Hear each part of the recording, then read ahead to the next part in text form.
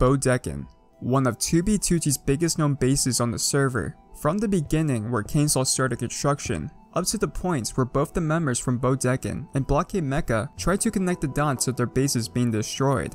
I will be telling you the story of Boedecken and how it eventually led up to that moment. The story begins in early 2015. When the base Exodus was griefed, the players CainesLaw and Tech Rev built a stash near it. They were leaving to join Asgard 2 and needed a secure place for their valuables. After Asgard 2 and the third incursion, they had plenty of duped items from the infinite blocks that were used during the incursion, and stored them in the stash while they ventured out to create a base named Aureus. About two years later when Aureus was griefed, CainesLaw went back to the stash to transfer his things from Aureus. Since he no longer had anything to do, he wanted to move everything to Bedrock, so he constructed a staircase and moved all the items down there.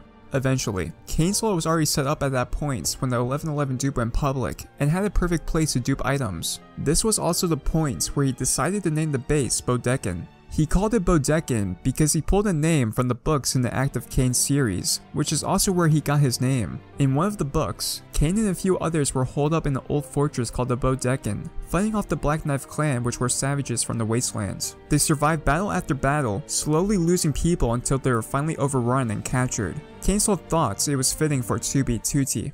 After that, he started blasting the first chamber with TNT that he duped.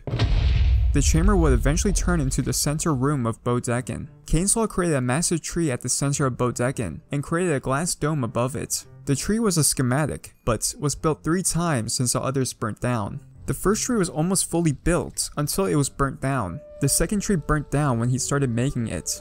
He didn't really know why it kept burning down, until a player named Legato underscore found out there were pockets of lava under the bedrock, so he drained the pockets of lava and CainesLaw created the third tree.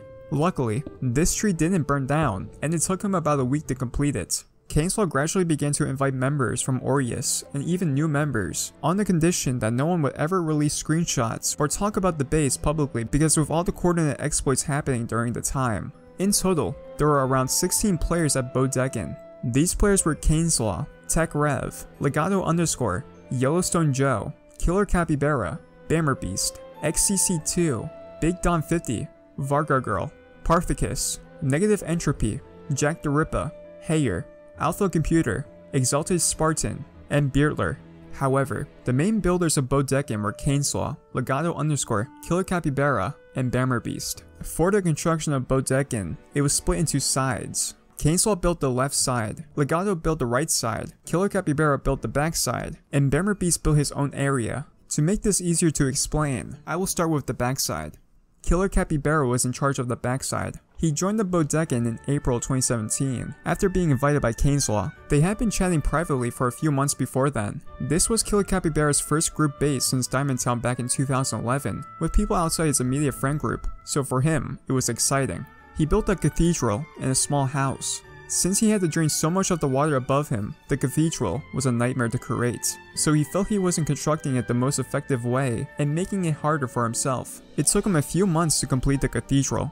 Bammerbeast created his own section. The beginning was a secret entrance in the central room. When you stepped on a pressure plate, the wall would open and lead you to another room of doors. To the left was a lava hall that held a library and a beetroot farm. To the right was the house of Bammerbeast. This held most of his belongings. Going forward will lead you to the 3000 block railway. This tunnel was mined out by Bammerbeast and decorated by CainesLaw, and he found the process very tedious. At the end, it led to Bammerbeast's ocean monument and the base's double mob grinder. The ocean monument was drained and turned into a house. The double mob grinder held a Samia's skeleton spawner. It was built and decorated by Legato. The left side of Boedecken held most of the farms. There were animal pens of sheep, cows, pigs, and horses. There was also a sheep wool farm to share all of the colors for wool. Beyond that was a big grass room. This was the last room CainesLaw was working on. It was built for Yellowstone Joe to have a spot to build his farm. Additional things were built like carpet and rail dupers, coarse fruit farms, and a pig grinder. The right side of Boedecken was the largest section. At the entrance was the ice anchor, built by Legato. On the anchor was a sign that had an Imgur link. In the Imgur link was a picture of a boat Legato was working on, until a player named iTristan used an exploit to find player data. Legato had to abandon the boat since iTristan had his coordinates, so he built a memorial to it. Going forward led to the Compass Rose. Legato built it so that members of Boedecken can make their own plots. Many players had plots like CainesLaw, Varga Girl, Killer Capybara, and Negative Entropy. Negative Entropy joined Boedecken when he was finishing up his Western Air Temple, and picked up random players at spawn to show it to them.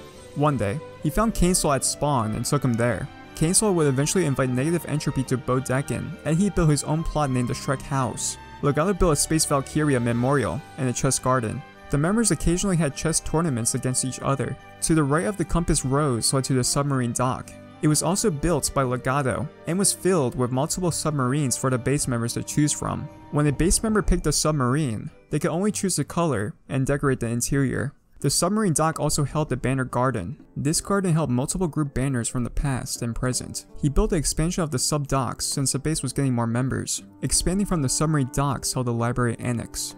A space with spiraling water flowing down to the left, and a library to the right.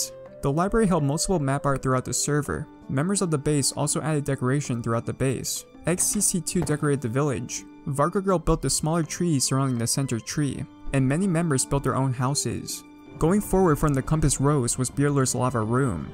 Beerler built it since he had an idea about building an underground mansion, but after the lava area leading up to it was completed, he lost inspiration. CainesLaw wasn't happy when he built it since he thought it looked terrible. He was going to fix it, however, he was never able to.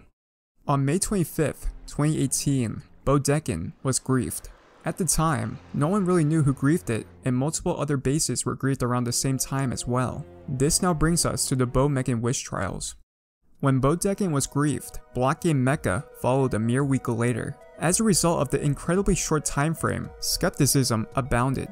Although the two griefs fit within the timeline of Jared 2013's Month of Destruction, nearly no one blamed him for the griefs, although the possibility was joked about extensively. His affiliation with several Block Game Mecca members made this an absurd thought. Before the Block Game Mecca grief, the fall of Boedecken was written off as accidental, as it was less than 8,000 blocks from the axis. However, when Block Game Mecca was leaked on June 1st, 2018, the members of these bases knew that something was up.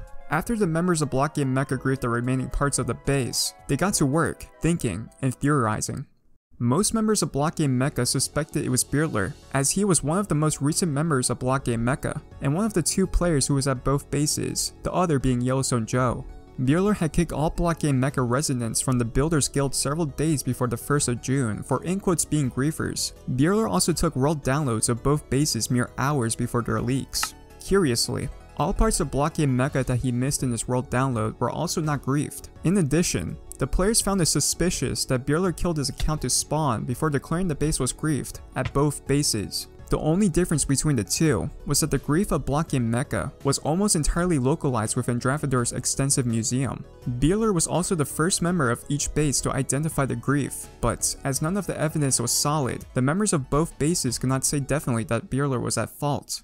A player named Joey Coconut made posts on the 2B2T subreddit identifying Bueller as a potential leaker of Block Game Mecca, alongside another player named Rai Cat, also known as K2Bot. Yellowstone Joe then began to post in broader terms, claiming Bueller as a leaker of both bases. At this point, the posts were largely fact-finding missions with nothing more than circumstantial evidence tying Bueller to the griefs. Yellowstone Joe asked Beerler to provide chat logs from the times of the griefs, but Beerler refused at first, then provided them later with the relevant time slots deleted. Despite this, most of the 2B2T community believed that Beerler was not to blame, as he was an otherwise trusted member of the museum and an active leader of Builder's Haven. Rai Cat's involvement stemmed from an edited world download taken off a base on the museum server. They found a sign claiming that Rai Cat had been there on the 25th of April, the problem with this was that the tunnel he claimed to have used never existed. The chunks were not loaded on his minimap, and of course, the signs was not placed on 2B2T at all. As a member of the museum staff, Rai Cat caught a lot of flack for this.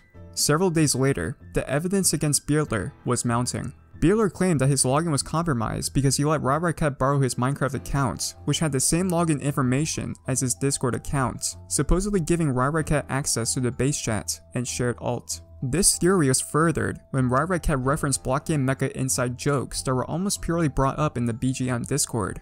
A player named AutismBot posted a public apology on Reddit, and many members of Block Game Mecca also publicly apologized. Beerler's name was publicly cleared of the supposed malicious activities, and it was declared that the destruction of Block Game Mecca was the result of an accident. Beerler responded with an apology and promised to be more careful.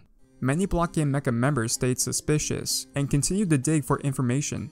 About a week and a half after the apology, and after the dust of the conspiracy had settled, Alpha Computer and Mecha leader Autism Bot obtained op on the 2B2T Museum through experimentation with NBT data on signs.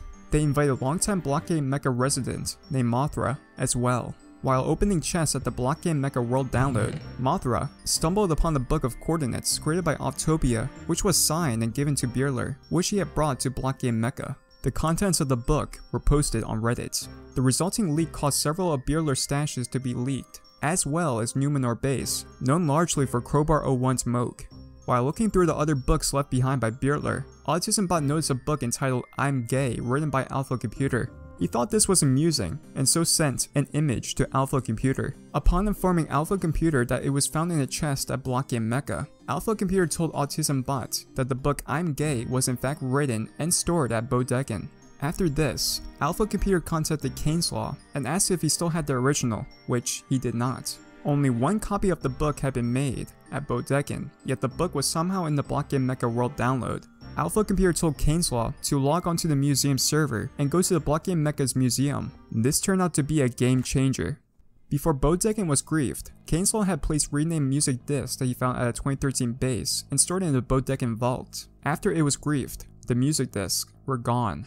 When Law went into the Block Game Mecca's museum, the renamed music discs from the vault were somehow in the chest there.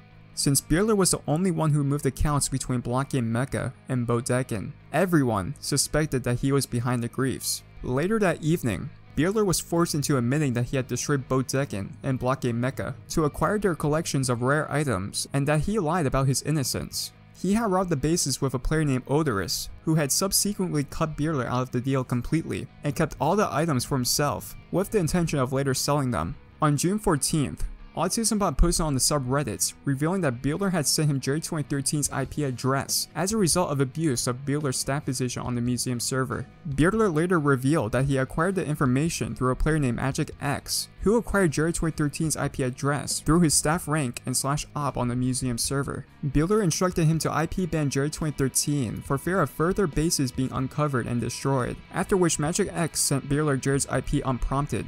Bierler then sent the IP address to Autism Bot on the 26th of May, when they had a similar discussion. Having discovered the coordinates of Bierler's base, Purgatory 2, the block game mecca shortbus Caliphates spring into action, with the members Alpha Computer, Autism Bots, Mothra, and Extof griefing the base the next day.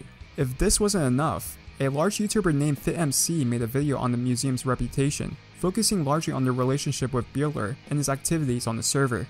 Fit claimed the museum had been stealing IP addresses, that the museum had been directly involved with griefing large community bases, and these griefs had been in order to acquire more bases on the museum. The first two were nearly entirely the results of Bierler's activities, while the third was completely unproven. However, Fit did not credit the vast majority of the players involved in the respective bases or the trials themselves. The museum staff were also deceived themselves, but no leeway was given to them in this narrative. The Jared 2013 IP leak was placed at the wrong place in the chronology. The grief of Purgatory 2 was indeed carried out by former Boedecken and Block Game Mecca members, but others participated in what was officially a short bus caliphate operation.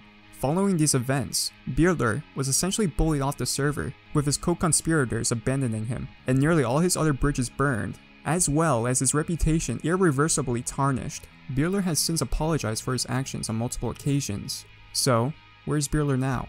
Well, I managed to get in contact with him so he can tell his side of the story. This is what he had to say. Back in 2018, Bierler was messing around with the 2B2T Museum staff and CainesLaw. They invited him to Boedecken since he was fun and nice to talk to. He acquainted himself with the members of the base for a bit, and then started to work on his part of the base. He had access to about 6 bases at the time, so he, regretfully, started taking from the supply stashes at Boedecken to fuel his other bases without dupe stashes. Eventually, May rolls around and Jared 2013 does his month of destruction, and at the tail end, Bierler decides to join in, seeing as Jared griefed his main base, Oceania. Bierler justified that he could slap his name on Boedecken and get away scot-free without being caught for having stolen from the base on multiple occasions. After the grief, he blamed it on a new player who put a sign by the base earlier, and almost everyone else at the base appeared to buy it until Block Game Mecca fell. He regrets what he did, but the damage is already done, and his persona is still hated throughout the 2B2T community. He understands that being shunned is a direct result of his actions, and he has no interest in returning to 2B2T uninvited ever again. Today, Boedecken is somewhat recognizable. Most of the structures are blown up, but there are also some areas that are noticeable. Players have left signs throughout the years, showing respect to this massive base, and to the amounts of work and effort they put into it. It's cool to see after all of these years, bases like this are still remembered till this day. Thanks for watching. I would like to thank CainesLaw, Joey Coconut, the 2B2T Wiki, Killer Capybara, Negative Entropy, and Beardler for their information in this video. Leave a like, and maybe consider subscribing for more information like this in the future. Anyway guys, stay fast, and see you guys next time.